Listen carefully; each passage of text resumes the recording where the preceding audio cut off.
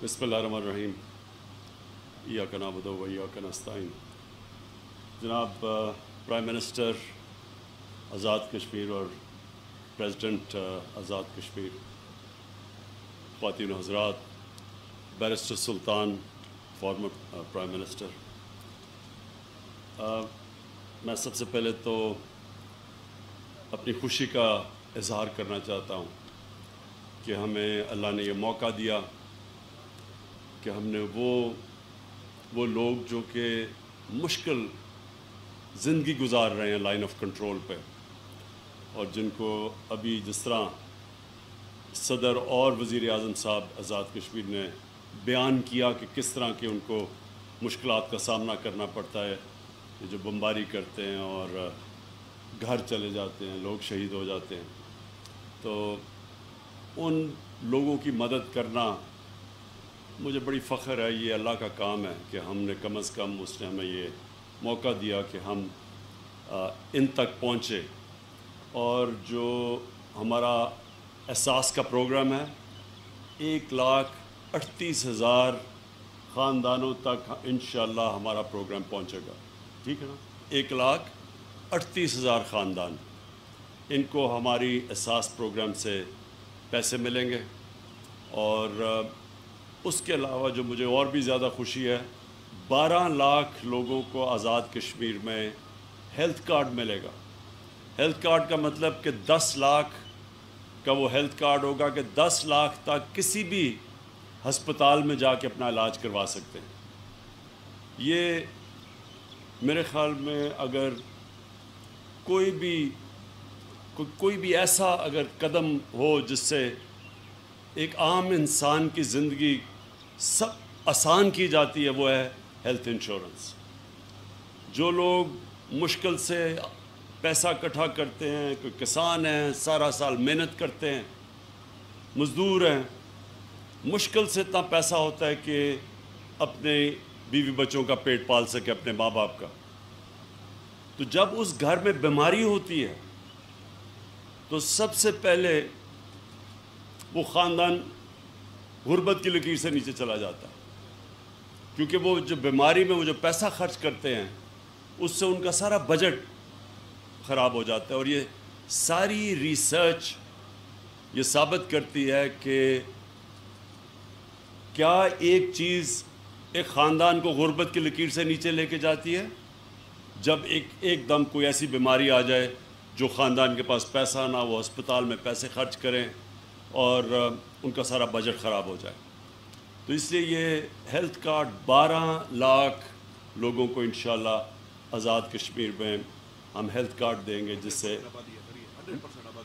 यानी तकरीब आपकी सारी आबादी, जितनी भी यहाँ आज़ाद कश्मीर की आबादी, सारी फाटा की आबादी जो पहले अब मर्ज, अब मिल गया पख्तून को पख्तूनख्वा के साथ, सारी फाटा की आबादी को हमने फैसला किया कि जो लोग पीछे रह गए हैं हम इन सबको हेल्थ कार्ड देंगे। सबके पास हेल्थ इंश्योरेंस होगी। उसके बाद उसके बाद मुझे आ, ये जो अभी प्रेसिडेंट साहब ने बात की मैं थोड़ी सी इसके ऊपर बात करना चाहता हूँ क्योंकि ये है इंटरनेशनल ख़ुद नेशंस का इंटरनेशनल टॉर्चर डे यानी तशद के ख़िलाफ़ दिन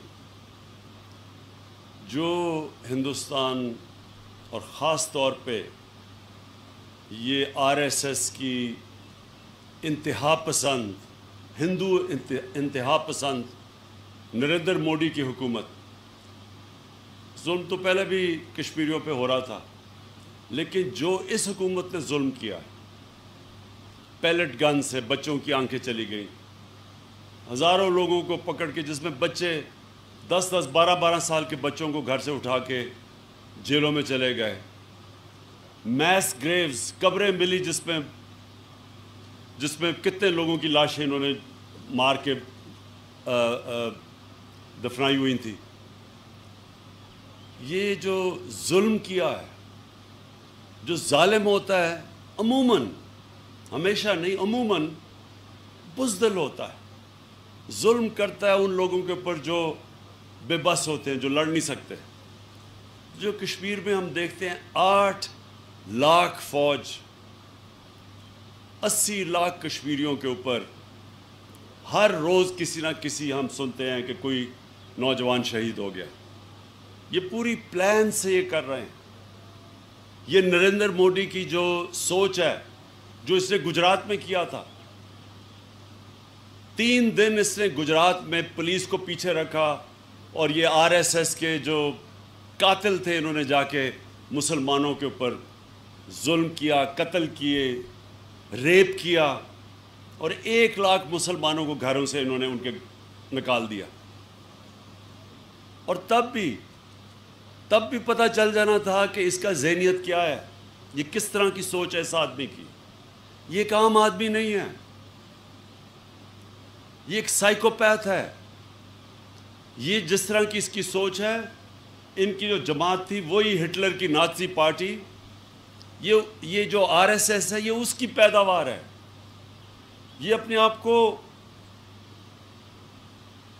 जो आ, जो जो हिटलर की नाजी पार्टी थी ये उसके जानशीन समझते हैं ये रोल मॉडल समझते हैं हिटलर की नाजी पार्टी को। इसलिए ये ऐसी हरकतें करते हैं। जो हिटलर की नाजी पार्टी ने किया जर्मनी में, जिस तरह उसने यहूदियों की कत्लेआम की, और बिल्कुल ये ठीक कह रहे हैं सदर साहब, कि पहले उन्होंने यही काम किए जो ये अब ये कर रहे हैं कि न्यूरमबर्ग लॉज आए, जिससे शहरीों को पहले उन्होंने उनकी सिटीज़नशिप के ऊपर क्वेश्चन किया कि आप शहरी भी हैं या नहीं। ये बिल्कुल वही मुसलमानों से जो आज हिंदुस्तान में हो रहा है ये सब हिटलर ने नाजी जर्मनी में किया था यहूदियों के ख़िलाफ़। औरों के साथ भी, जिप्सीज और भी थे, लेकिन ख़ास तौर पर यहूदियों के लिए। और उसके बाद जेनोसाइड की थी। ये असल में जा रहा है जेनोसाइड की तरफ़। और इसके लिए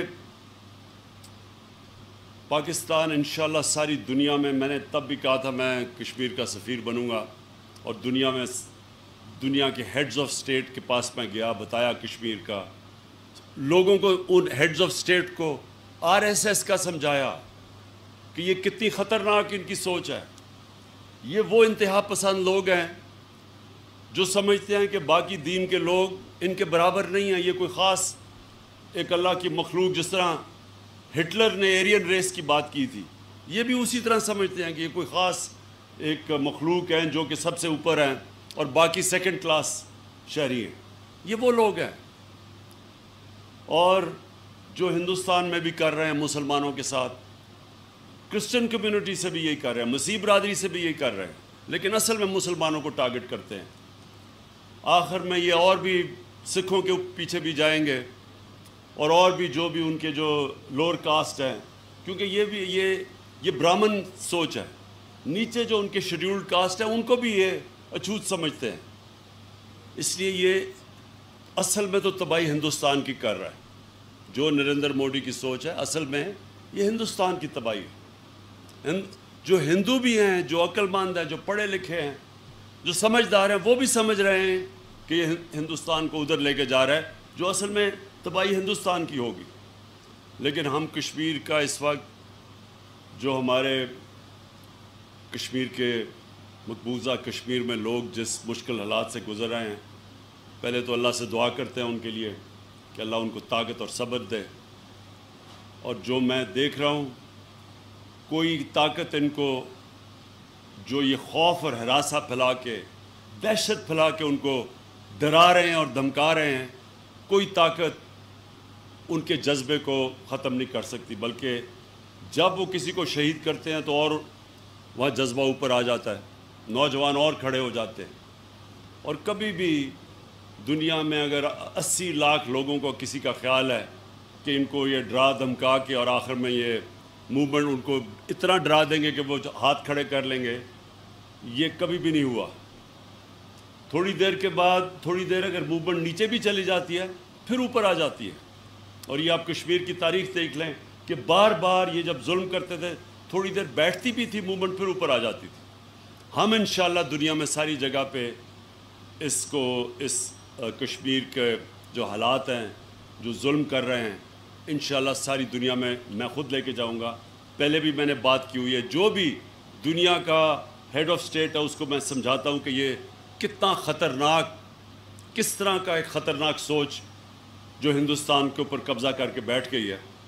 उनको भी मैं आगाह करता हूँ और इन आप जब देखेंगे कि पाँच अगस्त से पहले हम पूरी तैयारियाँ करेंगे।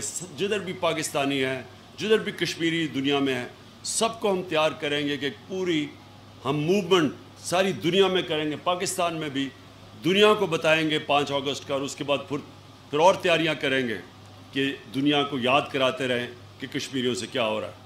मुझे अफसोस से बिल कहना पड़ता है कि हमने इसको यूनाइटेड नेशन में इतना उठा दिया था। न्यूयॉर्क के अंदर और सबसे मीडिया पे हर जगह उठ गया था। लेकिन जब वापस आए तो यहाँ एक साहेब आज़ादी मार्च लेकर निकल गए। और आज़ादी मार्च एक ऐसा यानी कि जान के कोई सेबटाज करता है तो वो सेबटाज किया गया कि जो उठ रहा था सारा कश्मीर का कॉज उसको सारा सेबटाज करके आज़ादी मार्च के नाम पे उन्होंने सारा मीडिया और सब तवज्जो दूसरी तरफ़ ले। लेकिन इन फिर से हम इसको कॉज को उठाएँगे और बिल्डअप करेंगे पूर, पूरा पाँच अगस्त तक। मैं आखिर में अपने लाइन ऑफ़ कंट्रोल के ऊपर जो मुश्किल का सामना कर रहे हैं हमारे आ, हमारे यहाँ फैमिलीज़ क्योंकि कोई वो जो बम्बारी करते हैं तो वो तो ये नहीं देखते कि आदमी है या औरत है या बच्चे हैं। तो मैं उनको ख़ास तौर पे उनको भी आज कहना चाहता हूँ कि हम इन पूरी हमारी हुकूमत आपकी मदद करेगी। मुश्किल वक्त में कोरोना की वजह से लॉकडाउन की वजह से हमारी आमदनी उतनी नहीं हुई जितनी इकट्ठी होनी चाहिए थी। उसके बावजूद हमने आज़ाद कश्मीर की जो बजट था वो बढ़ाया है, कम नहीं किया। बाकी जगह हमने पैसे कम किए हैं, लेकिन हमने फ़ैसला किया कि आज़ाद कश्मीर, फाटा और बलूचिस्तान, इन तीन एरियाज़ के अंदर हम इनका बजट जो पी एस डी पी और जो बजट है वो बढ़ाए, कम ना करें। जी और, और, और गिलगित बल्तिस्तान का भी। और इन आपके साथ हम खड़े रहेंगे सपोर्ट करेंगे आप बेफिक्र हो जाएँ। कोई ये हमारे लिए कोई बात नहीं कि हुकूमत किसी और जमात की है हमें इससे कोई फ़र्क नहीं पड़ता। हमारा काम है कि कश, आज़ाद कश्मीर के लोगों को जितनी भी हम उनकी मदद कर सकें इन हम करते रहेंगे। बहुत बहुत शुक्रिया।